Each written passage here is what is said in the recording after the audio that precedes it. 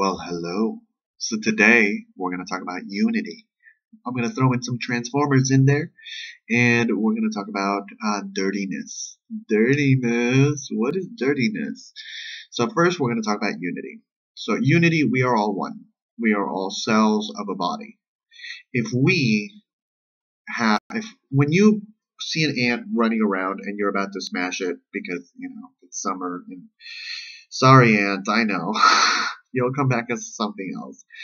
The ant knows it, and so it tries to run away, right?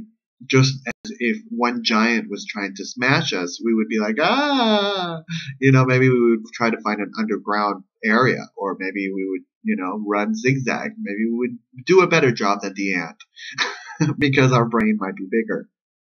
In the context of what? Um, so, uh, maybe the ant's acceptance of death at that particular moment in time is much more like than our zigzagging ability to try to make sense of this giant. Ah! So, in regards to you know, but I think about the Earth. I think about the Earth and how the Earth is kind of like a giant. So in Transformers, see have trying to Transformers, there's various different Transformers live in Cybertron, and if a spoiler alert, spoiler alert, Cybertron actually transforms into a giant robot. So I forget what the name of the robot is, but Cybertron does transform, and the cities within Cybertron transform into robots as well. So and then the Transformers combine together. So there's a sense, definitely a sense of unity in the Transformers franchise from a physiological sense, like of literally combining and you know forming. Um, so.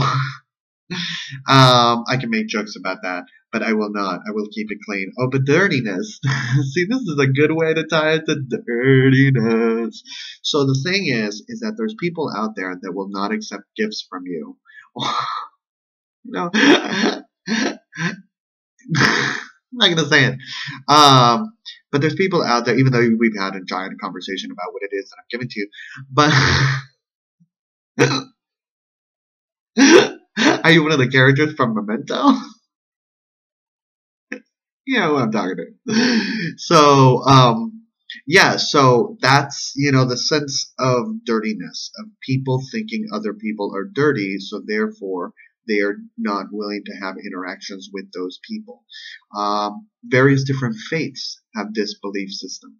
Uh, for gays, for instance, gays most notably have been given this entire blanket of dirtiness that if a man is sleeping with another man, women as well, of course, but men more so just because of the social psychological stigma of that men are not supposed to that procreate and make more I don't know, I don't know, I don't know or machismo or whatnot. So and you can't be a feminine male. Like so you can't receive, I guess. I don't know. You're supposed to be the, the giver, not the receiver. There's something, there's something denigrating towards someone being a receiver. So in, in psychological, mental, physical, in various different forms.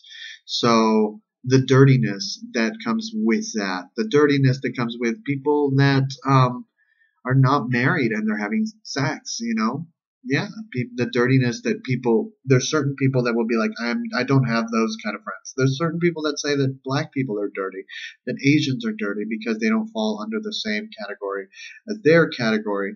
Uh, there's some people that say white people are dirty because they don't fall under the same category as their category. So that if we are all unified and if we are all one and if we are all in some way, shape, or form seeing each other, there's some people that see homeless people as dirty because you know they're dirty.